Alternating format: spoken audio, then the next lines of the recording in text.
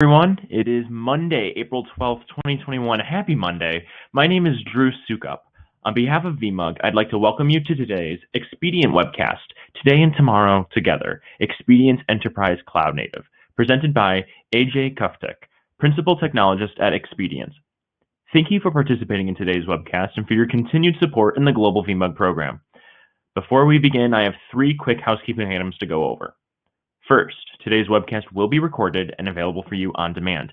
You will receive an email with the on-demand link, so keep an eye out for that. That should be coming around 1 p.m. Central Time tomorrow. Second, a short Q&A session will follow today's presentation if we still have time. However, we do love to answer questions throughout, so all questions will need to be entered into the question and answer section on the side. Uh, even when we get to the live demo, you can still ask questions if you just move around some of these uh, widgets that are in front of you that will be available. Third, and I oh, and also I see that other people have already been asking us questions. So thank you to all the people who have been saying hello. Third, there will be a short online evaluation that pops up as you exit this webcast.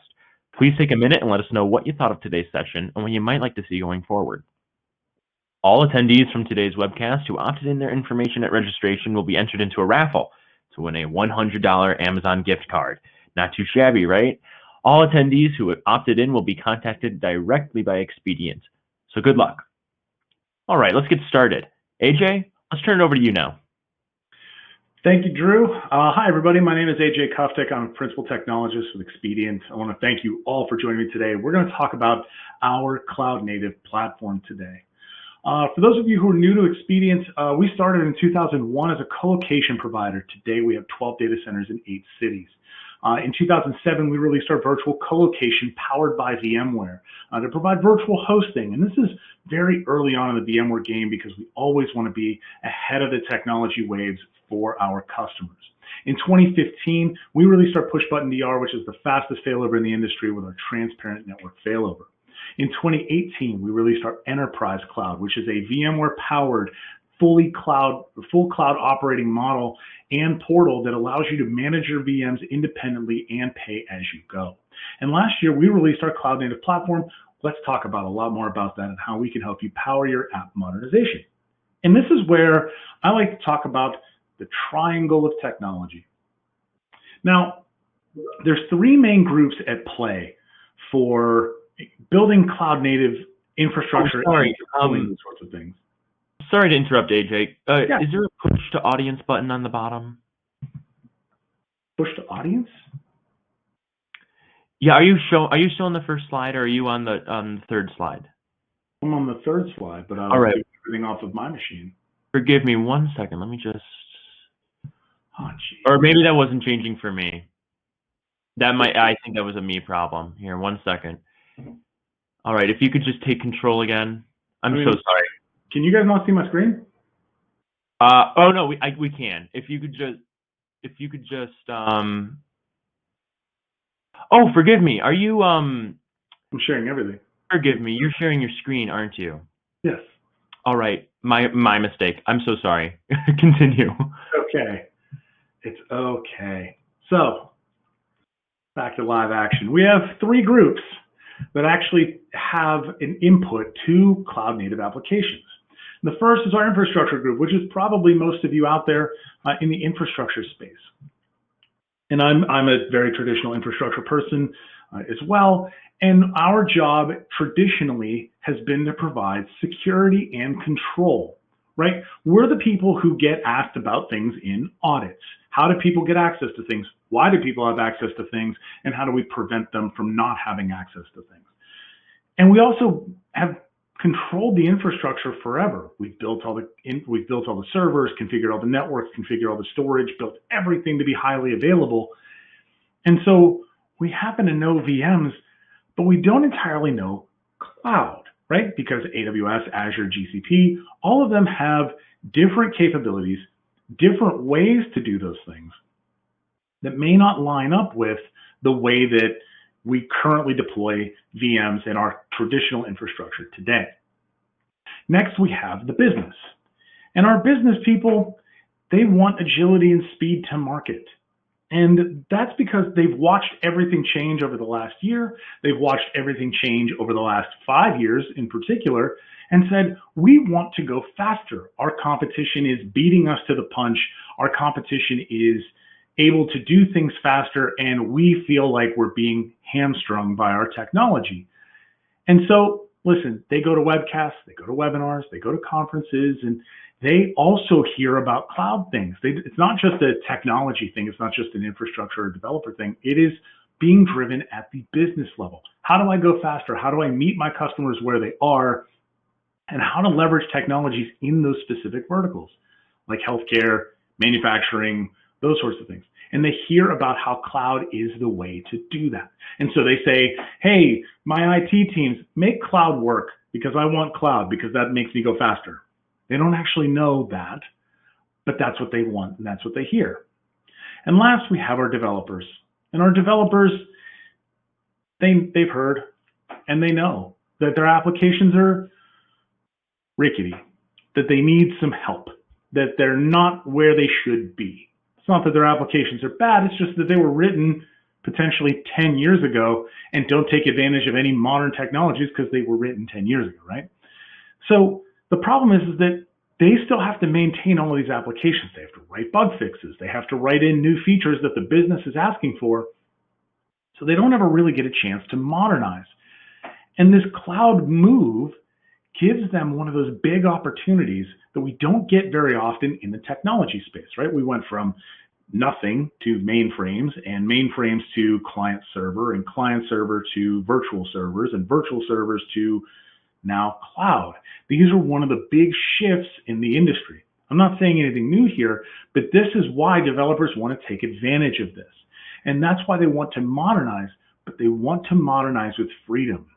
They know they can go to AWS or Azure or GCP, swipe a credit card, and start utilizing those technologies and those platforms without the infrastructure people meddling in their business, right? It's like a Scooby Doo cartoon. So they want to modernize, and that's why they want hyperscale. And the problem is, is that all three of these groups want, want the same thing. They want something in the middle, but they don't entirely know what yet. So let's take a look at these applications and let's break down how to actually get to where they want to go. And I want to talk about our legacy applications and kind of how an application gets built. This is probably how your applications were built as well. It starts with base application 1.0. This is someone had an idea. We want to do a thing. Someone says, okay, let's write a new app for that. Great. They write base application 1.0. And then someone says, hey, this thing doesn't work. Or hey, can we add this little feature? Oh, yeah, sure. And then we get update 1.1, 2, 3, and 4. All of them roll out. And then someone says, hey, I have this idea for a new tentpole feature, right? We have all this data in this app, and now I want to organize it. Oh, okay, big tentpole feature. We're going to create an entirely new reporting system. And that becomes application 2.0. And then marketing says, hey, wait, you guys have all this user data. You have a whole filtering system. Let's use that for end user communication. We want to tell them about sales that we're having. We want to tell them about new products that we have coming out. So let's make this our new marketing system. And this becomes application 3.0. And this is how applications grow over time to become these deep, critical parts of your business that are that are that have touch points to various business units like marketing and sales and product. Right? The problem is that as these applications grow, so do their number of lines of code. And as they grow, the complexity grows even higher. And it grows that high because now you have a bunch of different groups all touching this application for various different reasons. And so the complexity of this application has gone up. And I have this monstrous application that I can't do anything about. No matter how much I want to change this, no matter how much I want to do, my, my ability to do anything with this application is dragged to the bottom of the sea because of how big and heavy it is. So we should probably distribute the work that we have. And it's been like a year and change since I've been to a gym. So maybe it's been, I forgot how to do all this sort of stuff. But this is a 100 pound weight, right? You can buy a 100 pound barbell. It's very heavy to move. You're probably not going to lift that with one arm. Maybe you could pick it up with two hands. right? Maybe if you tilt it on its side, you could lift it if you tried really, really, really hard. Or maybe you could get two people to each pick it up on the side. But it's still going to require a lot of effort from you or this other person to move this around, right? But if I take that same 100 pounds and instead of doing one 100 pound dumbbell, I do five 20 pound dumbbells, I can actually distribute this work and it makes it a lot easier. I can carry two of those 20 pounders, or I can carry one and four other people can carry them. And I can distribute the amount of work that's happening here so I don't have to do as much heavy lifting. And to take it even further, I can take those 520s, split them into 10 10 pound weights, and I'm moving the same amount of weight, but I'm requiring far less effort to do that each time. So, when have we actually seen this? We've seen this happen before, and it comes from a fairly unexpected place because a lot of people would consider this application to be, you know, a new, fully cloud baked application, and it's Twitter. Twitter, very early on, was a monolithic application. It was written in on prem technology with Ruby on Rails. They used to have to deploy physical server after physical server after physical server to make this work. Because remember, this is early days of EC2. EC2 came out in 2007. So it wasn't necessarily a fully baked, everybody goes and uses a platform yet. The Twitter comes out in 2008. Huge monolithic application. And they even said, we wrote it in a way that'll scale forever. And then it didn't. And they would have multiple day outages. And at the time, they had 6 million users. Keep that, keep that number in your head. But if you were on Twitter in 2008, you probably saw our very good friend, the fail whale. Now, the fail whale hasn't been around in a very long time because Twitter said, we got to do something about this monolithic application.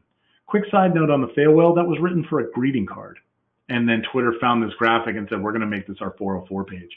So this is a classic example of a company that hits a scale limit that they just can't hit, that they just can't beat. Now, why couldn't they beat that? It comes down to Moore's law.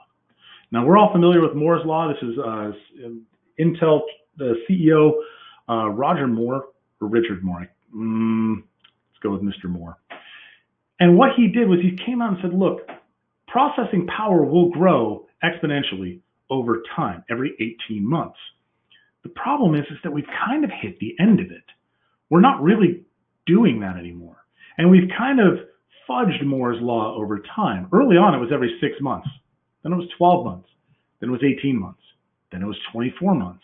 And it's just it's just gotten longer. The law is still kind of sort of there, but the time scale has grown has grown out.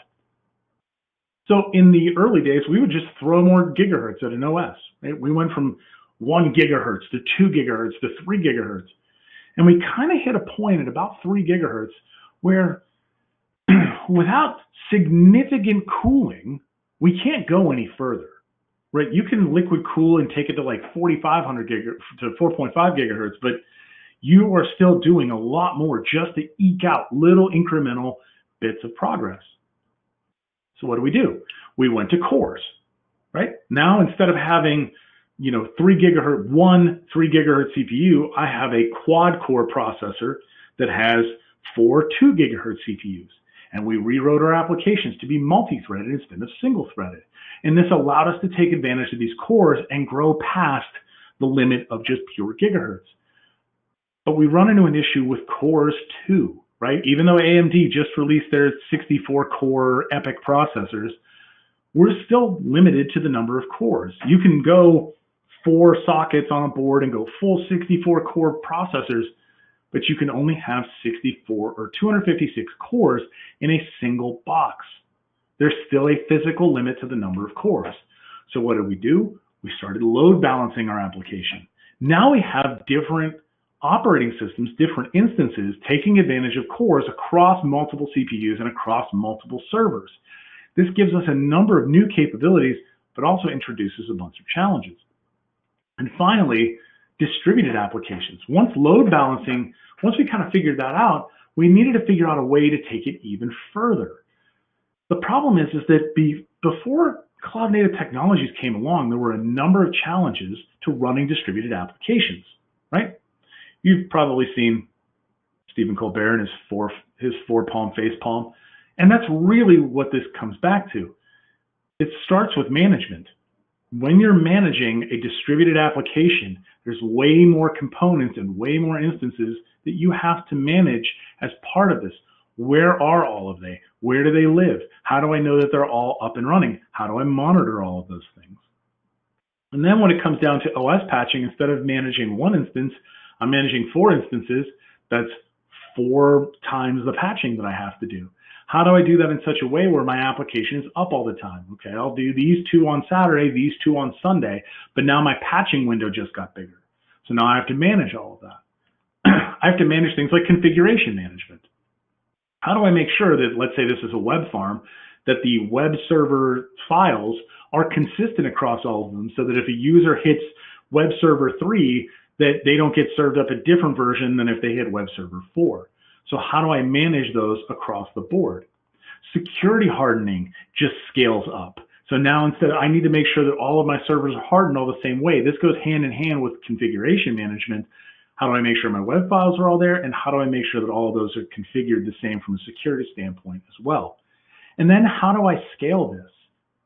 How do I make sure that when I know that I can scale up to meet the needs of my customers, when do I scale back down so I'm not overspending? So there's a number of these challenges to traditional ways of doing a distributed application. And that's where cloud native technologies come in. But what is cloud native? We talk about, most people just think that cloud native is containers and it's in a hyperscale cloud. The thing is that it's a how, not a where. There are four main pieces to this, right? It's not where you do it. You can do cloud native technologies on-prem in your existing data center today. In fact, VMware has pushed the entire Tanzu suite to do that. But it's not so much where you do it, it's how you do it. And it relies on things like modern development techniques, things like Agile, CI/CD, utilizing APIs instead of uh, you know writing your things to talk directly between processes on the same box, and utilizing containers to be able to create the microservices that you need to be able to modularize your application and make it scale better and faster. It also is distributed by definition the way that it's built and the way that it is written is meant to be distributed and it's not trying to shoehorn distribu- distribution into your traditional applications. It's not like, oh, I have an app server and a web server, that's distributed. Kind of, but not really. By taking that and breaking it down further and making those microservices, it creates that distribution for you. So there's three main pillars to this, and it starts with the mindset. This is where the concept of microservices comes in. Take, for example, a large retail website. That, that retail site has four parts to it. You have a catalog that has all the stuff, all your products. You have order tracking so that when I place an order, I know where my order is, if it's shipped, if I've paid, you know, wherever it is in the process. I have payment processing so that I can actually, you know, receive money for the things I'm selling. And then I have promotions. So I've bought a product but now maybe that customer might want to buy another one of my products, or maybe I know that they bought a pair of shoes and this shoe manufacturer came out with a new pair that this person might like. I want to make sure that they know about that so they'll come buy it from me. All of those are part of a retail website and a retail organization. But if you take that large retail site, making changes to that can create its own problems. It can create problems between things like my customer database doesn't need to be tied into the catalog system. They could be two separate things, right? And so by separating all of these things out, it can make it really easy. So things like my order tracking needs to be stateful, but my catalog can be stateless. My stateless part of my catalog will always change based on what filter I'm showing, based on the the you know the input and output of the catalog, things that come into stock and go out of stock. Those things change state, but my order tracking needs to be stateful forever. Promotions can be stateless, right? If the promotion system goes down and I have to rebuild it, it's not like, oh no, I've lost all my promotions. It's fine and I can resend them. But each becomes a service that can be changed independently. And by separating stateless from stateful, my stateful data remains protected and available, and my stateless applications can be updated based on demand.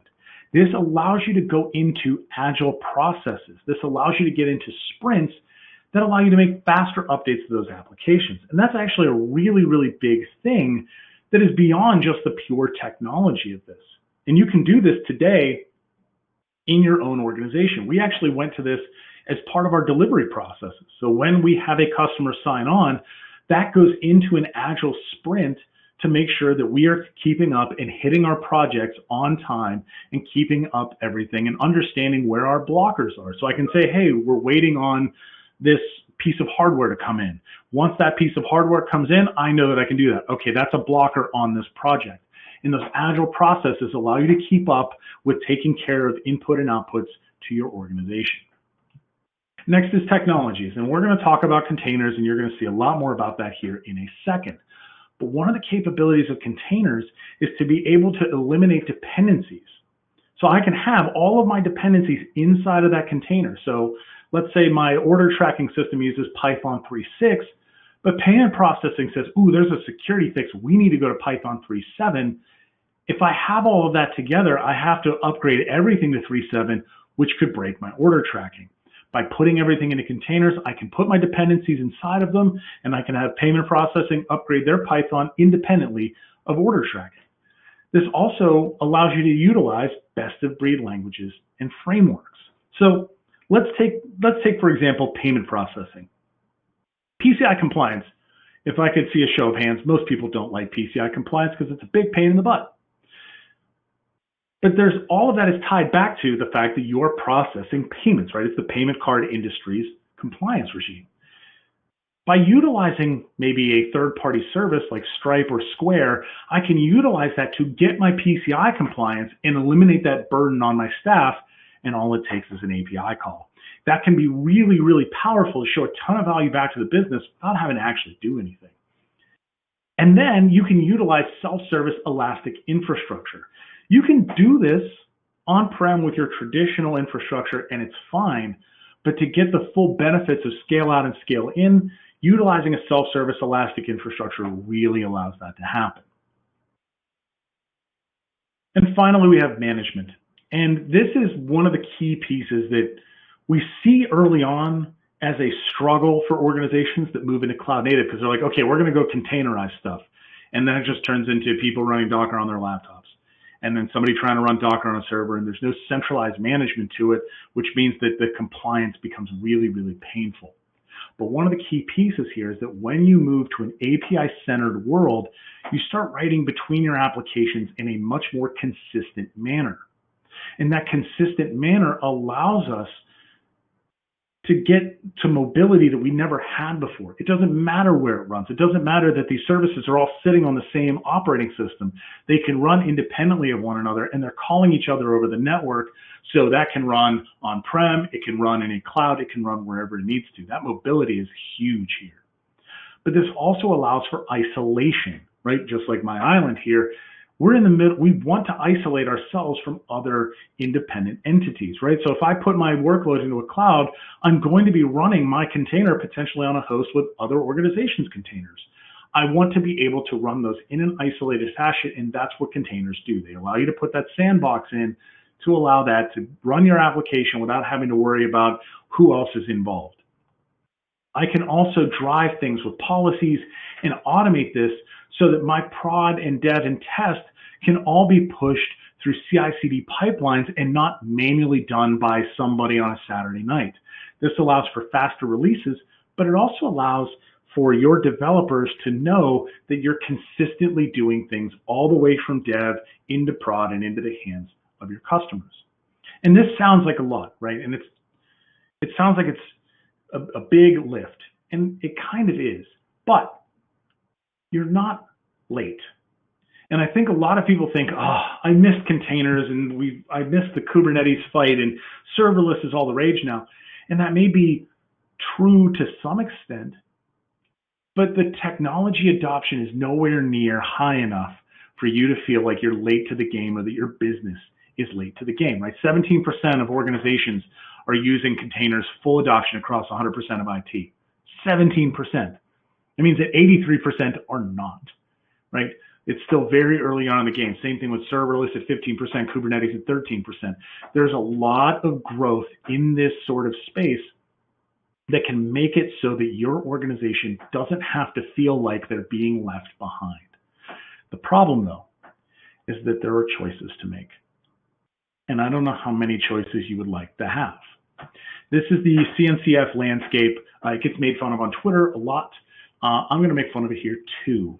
But in the difference here is that one of the interesting parts is that each one of these little boxes, this is all API gateways. There's uh, six, 10, 13 different API gateways as part of the Cloud Native Computing Foundation. There's nine or uh, 10 different service message, service meshes.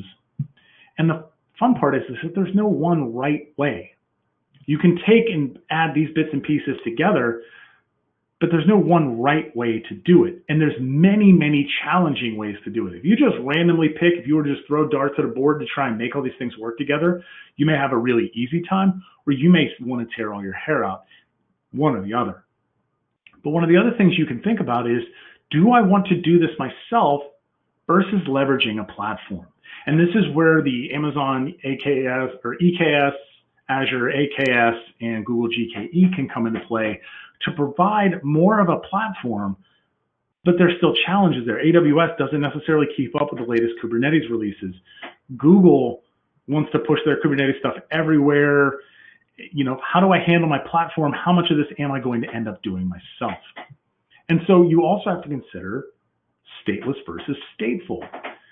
We're traditional infrastructure people. Traditional infrastructure is stateful, right? I know that this application lives in this OS on this server, on this network, on the storage. It's in my DR plan and it's in my backups, right? And if I want to recover that application, I'm going to have to go to my backups or DR or leverage my high availability inside of my platform to be able to bring that back online.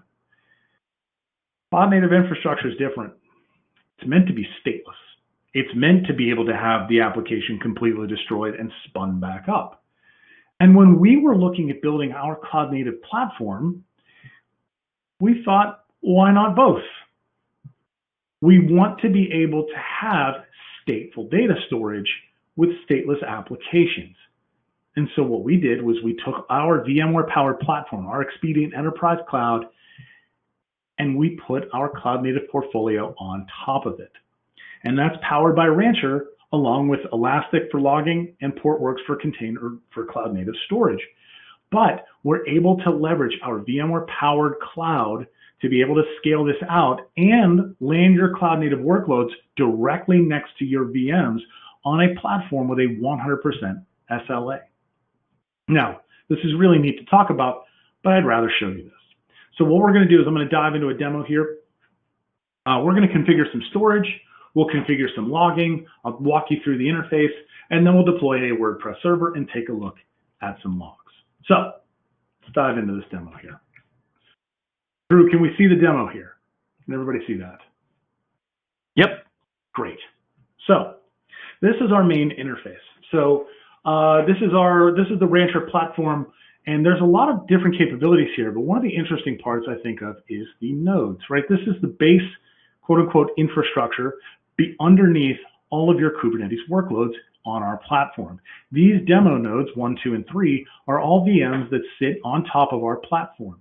When you need more, you can add more. You literally click the plus button under the three nodes to take it to four nodes, and then it re- Rancher reaches into you know, our EEC platform, deploys another VM, and adds it into the cluster. So you can gain resources as you go. Those resources in the in EEC are all backed by a resource pool that provides guardrails so you don't overuse your resources and end up with a bill that you don't want, right?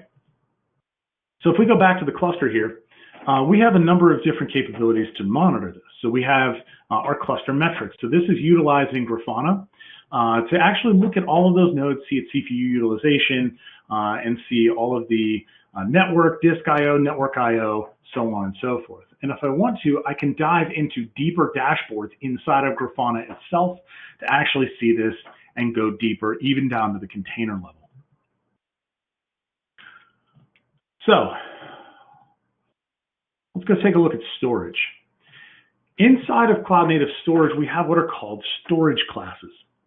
And what we do with Portworx is Portworx is connected to uh, these nodes. These nodes each have storage on them.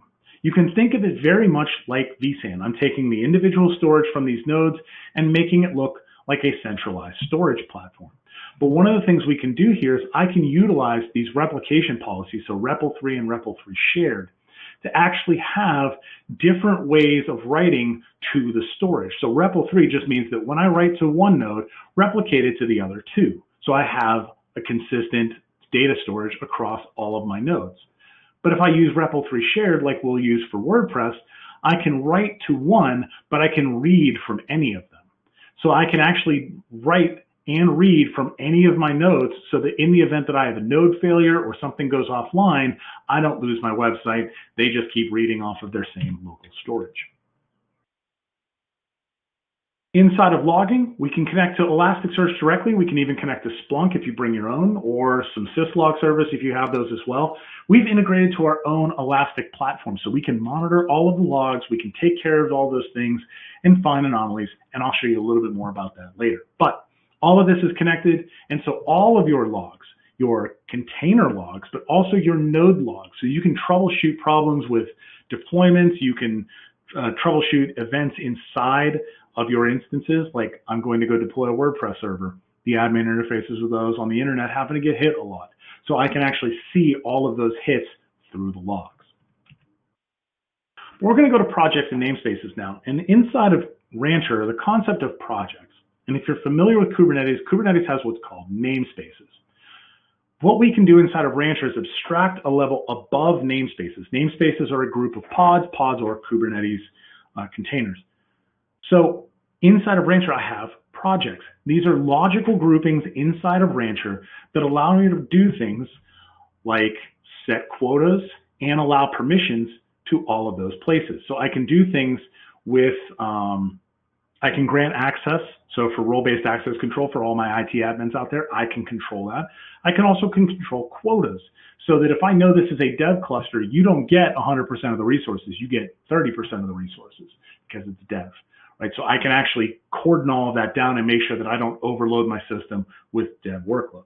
But let's go deploy some storage here. So what I have here is my MySQL volume. We're going to deploy a two gig volume, read write once. So we're going to use the REPL3 storage class. If I come down here, I'm going to use the Rancher CLI to actually go do this. So Rancher kubectl apply MySQL volume YAML, and it will go out and create my, my MySQL volume. And then my WordPress volume here is REPL3 shared. So I'm going to read write many, and this will be a one gig volume. So this is a shared true volume. I'm going to come down here, do some typing. If I could type faster, that'd be really great. And so now, if I go to my volumes, I can see that I have deployed two new volumes. I have my MySQL PVC1 and WP PV claim.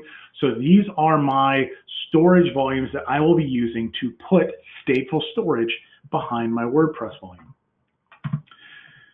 So let's go deploy my MySQL box. So right now we're going to go deploy a WordPress MySQL instance. This is going to go use the MySQL Helm chart. So for those of you who are not familiar, Helm charts are kind of like templates inside of um, inside of the Kubernetes and container world. So I can actually pull these down. They already have the application pre-deployed, and I can put in specs to actually go configure them.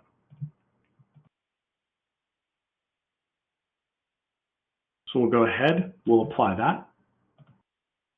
And now if I go to my workloads, I can see that my MySQL box has deployed. I have one pod, I have one database server, and that it's up and running and happy.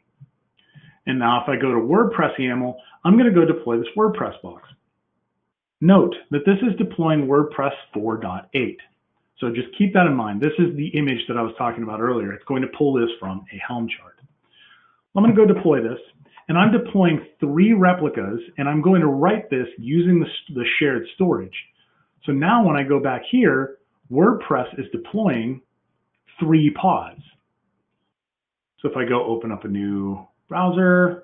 I now have the WordPress interface. And we'll just go through and say Cloud Native blog. Type in a password, don't want to show you guys that. And we will install. So we'll log in. And now I have WordPress up and available. I am running WordPress 4.8.3, which is fine. It works, but it's got some security vulnerabilities into it. And I can even see inside of here the WordPress 5.4.2 is available. But enough about security. Got a blog. So we're going to go ahead. We're going to type in some welcome to our Cloud Native blog. Stay tuned for more Cloud Native content. And we're going to go ahead and publish because mods are asleep. So I have my post. I can click on view post here and I can see my super fancy blog. And if I go back, I can scroll down. I can see my welcome to our cloud native blog. So I can see my first post here. I can also see my hello world post. If I go back here to my dashboard though, I've got WordPress 5.4.2. And I got to be really honest before I take this blog out to the world, we're going to go ahead and we're going to, we need to go ahead and upgrade that to 5.4. So I have my four nodes here, right? I have uh, IPs here that are all load balanced, so I can just continually hit this, and there's three different sites behind it. So what I'm going to do here is I'm going to go here, and I'm going to change this 4.8 Apache to latest. And then we're going to apply this again. And if I go into Rancher, you can see that all of those nodes are being destroyed and then completely new containers are being deployed. So I have destroyed this entire WordPress site and stood up a complete new WordPress instance. If I go here and I hit refresh, I have a database update now because I'm on a new version. There's a new database schema. So we're going to go ahead and upgrade this WordPress database and I got kicked out because did because we just destroyed a complete WordPress site and redeployed it. And so now I'm back up. I'm now running WordPress 5.4.2. It's as simple as that. And I can do these upgrades. I can even do things like I'm going to change just one pod and do A-B testing that way. So there's ways to do this to gain a ton of new capabilities without having to jump through a bunch of hoops. And if I go to my posts, and I see all posts, I can see that my post is still there. And if I add a new post, I get the super cool new block editor, which is neat, I guess. We'll go ahead and put in a new title. Check out the replay of our webinar. We held our latest webinar on our cloud native portfolio. And we'll put, see the replay for that and the entire series here. Boom. And again, mods aren't here, so we'll go ahead and publish. And if I click view post, you can check out the replay for our webinar and see the entire instance. Now, I've logged into our admin interface a couple times here. And in doing so, I've kicked off a bunch of logs. Now, all of the logs for the container nodes themselves and the, the containers themselves and the worker nodes running them are all pushing back into Elastic. So I can see that I have a bunch of really neat nodes here. But if I type in admin and I hit refresh, I can see all of the instances of admin, whether that's the WP admin site or anything else. And I can get even further, so I have 77 hits now. We're going to change this to WP admin and we'll hit refresh. And I'm now down to 65 hits. So I can actually see that I'm changing my I'm changing my search form, but I can actually find all of these things. I can even build dashboards off of this to say that we've had this many admin events this week or this day or this hour, and I can build dashboards off of that to have better visibility and observability of our platform. But here's the thing. What Twitter did in 2008 was they wrote it based on the technologies of the time. But in order to scale, they needed to make big changes. And so Twitter was actually one of the first examples of apps that containerized at scale to be able to meet new scale needs. And that's where this really comes back, right? We have a containerized app They went to microservices that allows them to make changes faster. You may have even seen some of their A-B testing that they do, where they roll out a feature to a subset of users, not all of them. And so now the fail whale is a you know a mark of the past. And remember, they had six million users in 2008. They have, as of Q1 2019, 330 million users.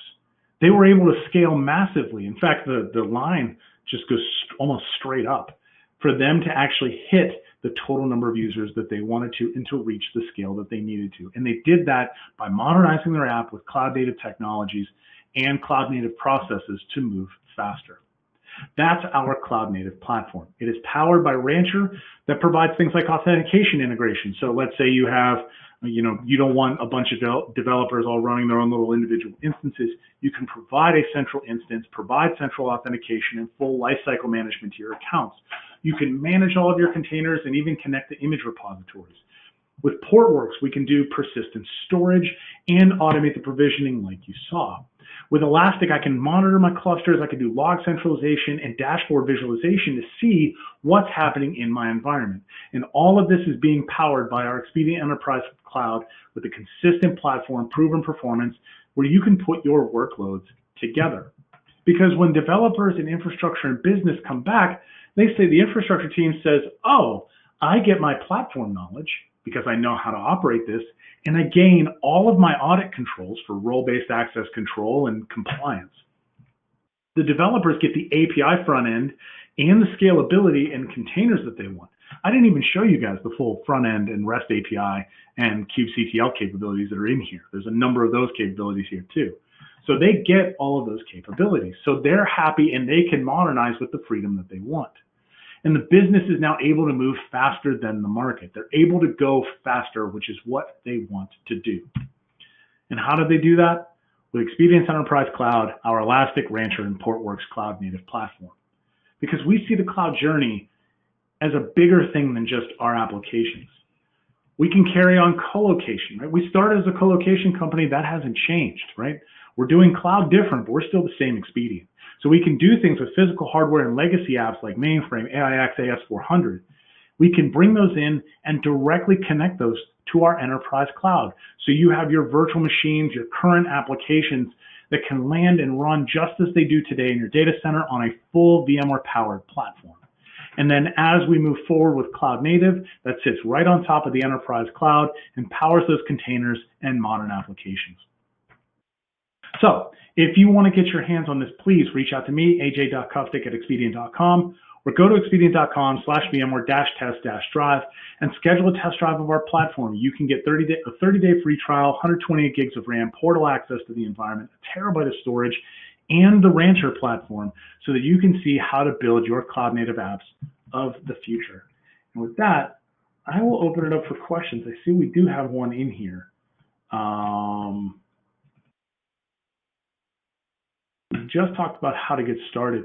Um, for those of you looking, the, the question and answer is on the left side of the window. It may be hidden slightly. Yes, I just wanted to jump in, AJ, and let you know anyone that wants to ask a question, please feel free to send it now. You can minimize the screen and uh, go to the question and answer section on the left panel, the left side. You should be able to see that. So send in your questions as soon as you can, uh, and we'll be waiting for that and it looks like we briefly may have just lost AJ.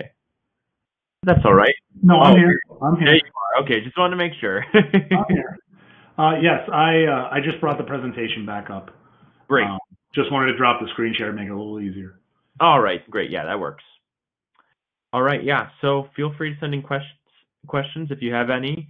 Uh, meanwhile, AJ, this has been a great presentation. I, I loved the demo. Uh, I, I went in the audience side to watch it, and I've been having a great time. Great. Yeah, I mean, this is this is something where I think this is a, a we see this at, Expedient as a big challenge for organizations because this is it's hard to know where to start. Um, we have spent a lot of time building this platform. In fact, one of our largest customers is utilizing this platform um, because we recognize that this is where applications are heading. Um, but we also recognize that not everything is going to go immediately. Not everything is going to go ever. right? You're going to have those legacy applications and even your current applications, things like that are commodity off the shelf software, where you don't necessarily have that full control to do the things uh, to like rewrite the code and containerize it like you would like you may want to. This is a way for you to do that. Uh, I think it's very uh, interesting from a an overall you know industry standpoint that this is where a lot of people want to go, but they don't exactly know how to get there. Um, so we wanted to build a platform that allowed to do that. Can we use these services in an on-premises infrastructure? Uh, we offer our platform, our on-site private cloud, uh, and yes, we can. So we can connect this to our on-site private cloud. We can even manage um, on-site Kubernetes infrastructure as well. So you can utilize this as a management plane that is operated for you and then take it from there. Uh, in fact, the um, we can use the our Rancher platform. So if you have developers that utilize the Amazon, Azure, GKE platforms, uh, you can use those with Rancher to be able to do that. Uh, so there's a, a, number of different capabilities. It's not just inside of our four walls. You can do you can do it on our platform. You can do it on your platform. Uh, we can meet you where you are. And that was actually one of the big reasons we we partnered with Rancher on this because we wanted to get a bigger uh, a bigger platform to utilize so that we're not just inside of our four walls. Yes, we see this as a we see this as a huge challenge because people don't even know where to start. And even then, it's still a lot of infrastructure that you're maintaining um, without being able to do anything with it, right? You need to go build all this infrastructure just to get to the point where your developers can start writing things. We wanted to accelerate that process and make it a lot easier and make it fully managed. So we, by, by the way, this is actually something uh, that I didn't cover in the presentation. Uh, when we do upgrades, we actually do pre-flight checks of the um, infrastructure, or not of the infrastructure, of the applications to make sure that they will work with the next version of Kubernetes. So when we do our upgrades, we are doing pre-flight checks for you as part of the managed service. Uh, are there hardware dependencies? No. Um, we can do it on our platform. Uh, it makes it a lot easier because then it's still a fully managed platform in your inside your data center. Um, but we can also do um, manage. This is just connecting to VMware, so we can do it that way as well.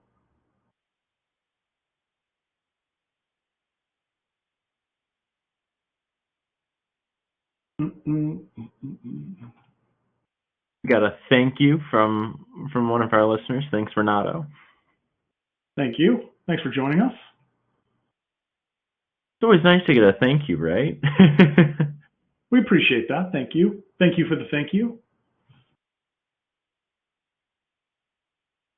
I mean, this is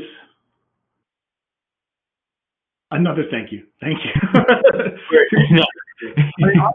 this is what this is what we see as a huge challenge for the industry, and we want to help. Um, we also have a number of other uh, multi-cloud capabilities that we just released this past month.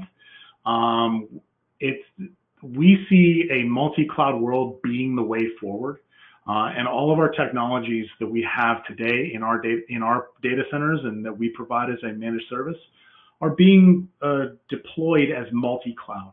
We want to be able to support those workloads wherever they may be because we recognize that not every cloud is the right fit for the right workload. And this is a way for us to do that going forward. So um, this is just one piece of it. Uh, we also offer uh, multi-cloud management, cost optimization, um, file services. So you go to our website, expedient.com slash services slash multi, multi dash cloud. You can also uh, just go to expedient.com and click on the services bit at the top uh, and you can click on the individual services.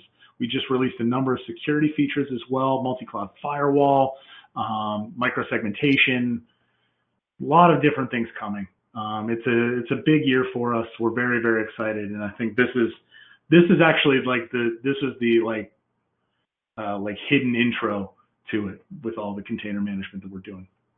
Yeah, anyone that's following Expedient knows it's been a big year. So uh, it's always exciting to hear what uh, you always have in store with us. And AJ, I think this has been the third or maybe even fourth webcast we've done together, and every time it's just you know it's just great every single time. Yeah. We've got a lot of fun up our sleeves, um, working on some big big things. So hopefully I'll, I'll come back in the probably in the fall maybe to talk about them. So Keep an eye out for Expedient. Always keep an eye out for Expedient. Yeah, let's do it. Uh, and with that, I think we've exhausted all the questions and we've gotten a lot of thank yous. So uh, you're welcome to everybody and thank you for joining us. Um, AJ, is there any last thing that you would like to uh, push out for our audience? Uh, go to our. Uh, you can also go to our website uh, and sign up for a free cloud assessment. Uh, you can go to expedient.com, uh, click on services, and click assessments, where we can walk you through an assessment of your infrastructure and what what the right clouds would be for those workloads. Helping you land those into an enterprise cloud, you stay on-prem, or even move to a hyperscale cloud. We can help that all the way through. So please check that out as well. All right, great. And we got another thank you from uh, Cliff saying, thanks, AJ, great presentation. And I couldn't agree with Cliff more. Thank you, AJ, for taking the time to speak with us today. Uh, as a reminder to our audience, you will receive a follow-up email with the on-demand link from today's webcast. Again, expect that at around 1 p.m. Central Time tomorrow. It'll be in your email. Uh, to find out more about the VMUG webcast program, visit vmug.com slash webcast, and you can watch all of our on-demand uh, webcasts from the last six months, and you can hear my happy voice in every single one of them. uh, please make sure to complete the short online evaluation that will pop up as you exit this webcast and let us know how today's session went. And from all of us here at VMUG, thank you and have a great rest of your day.